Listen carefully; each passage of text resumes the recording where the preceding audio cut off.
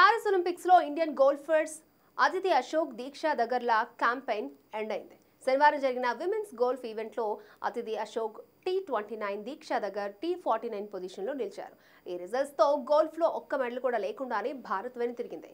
ఇక రెజ్లింగ్ విషయానికి వస్తే మహిళల డెబ్బై ఆరు కేజీల ఫ్రీ స్టైల్ ఈవెంట్లో పోటీ పడిన wrestler Ritika Hooda Hungary wrestler Bernadett నేగీపై పన్నెండు రెండు తేడాతో గెలిచి క్వార్టర్స్లోకి అడుగుపెట్టింది. ఇక క్వార్టర్స్లో కిర్గిస్తాన్ రెజ్లర్ ఎపిరే మెడెట్ కిజీ చేతిలో ఓటమి పాలైంది. రితికాపై క్వార్టర్స్లో గెలిచి సెమీస్లో అడుగుపెట్టిన ఎపిరి మెడెట్ సెమీస్లో అమెరికా రెజ్లర్ కెనడీ బ్లేడ్స్ చేతిలో ఎనిమిది ఆరుతో ఓడిపోయాడు. దీంతో రితికా మెడల ఆశలు కూడా గలంతయ్యాయి. ఒకవేళ కెనడీ బ్లేడ్స్ పై గెలిచి ఎపేరి మెడెట్ ఫైనల్కు చేరుంటే రితికకు బ్రాంజ్ మెడల్ మ్యాచ్ ఆడే ఛాన్స్ ఉండేది.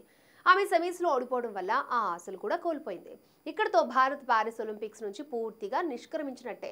మొత్తంగా భారత్కు ఈ ఒలింపిక్స్లో ఆరు మెడల్స్ రాగా అందులో ఐదు బ్రాంజ్తో పాటు ఒక సిల్వర్ మెడల్ ఉంది. ఇక ఎపేరీ మెడల్స్పై సెమీస్లో గెలిచిన కెనడీ బ్లేడ్స్ ఫైనల్లో జాపనీస్ రెజ్లర్ యుఖాగామితో తలపడనుంది